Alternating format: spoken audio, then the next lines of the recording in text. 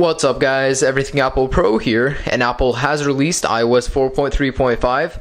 Now the only difference in this update is that a very minor security flaw has been fixed. Now besides this, nothing else has been changed or added, so it's not even worth updating if you guys are on a lower firmware. Now for those of you that did update, this video will show you guys how to jailbreak your iPhone 4, 3GS, iPod Touch 4th and 3rd gens, and the original iPad all on iOS 4.3.5. Now keep in mind this is a tethered jailbreak, meaning if your battery dies or you need to restart your iDevice, you will need a computer to reboot your device successfully or else it will be stuck on the Apple logo.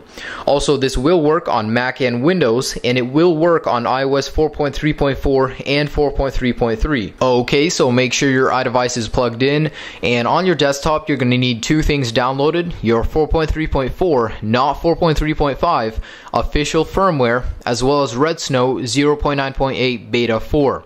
Those links can be found down below in the description as well as a written guide. Now, if you guys are having any kind of trouble during this jailbreak, make sure to read the guide because it will tell you guys how to fix those errors.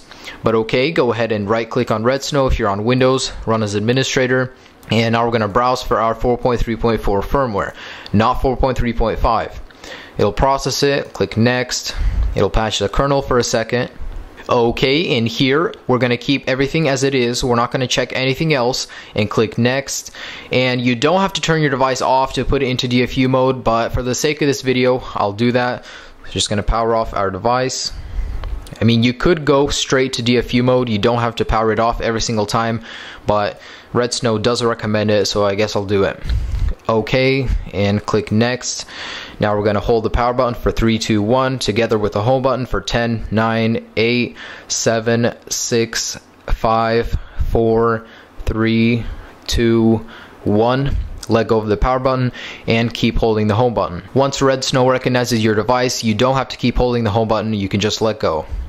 Okay, so now it's going to jailbreak it and I'll be back once it's done. Okay, and once your device reboots, go ahead and slide to unlock and you will have Cydia on your springboard. Now it might be white and that's perfectly normal, but if you click on it, it will crash. Now basically what I'm about to show you is what you'll have to do every single time your battery dies or you need to reboot your device. Basically go into Redsn0w, run it, browse for your firmware, Basically exactly like the step we did before, except this time when we have the options, all we're going to select is just boot tethered right now. Okay, and here we're just going to select just boot tethered right now. Click next. Again, put your device into DFU mode. I'm just going to skip to it and put it right into DFU mode. So hold power and home together till the screen goes black and then let go of the power button and keep holding the home button. And once it's done, you will see a pineapple logo on your device. That means it is rebooting in tethered boot mode and it will reboot in just a second. Okay, and once your device reboots, go ahead and slide to unlock and you guys will now have a full colored Cydia on your springboard. Open it up and you guys are now jailbroken on iOS 4.3.5. Just remember this is a tethered jailbreak. Now thanks for watching this video guys, I really appreciate it. Please rate if it helped you jailbreak your device if you liked it. Don't forget to comment and subscribe subscribe if you haven't already for more great videos. So once again, thanks for watching guys and enjoy your jailbreak on iOS 4.3.5.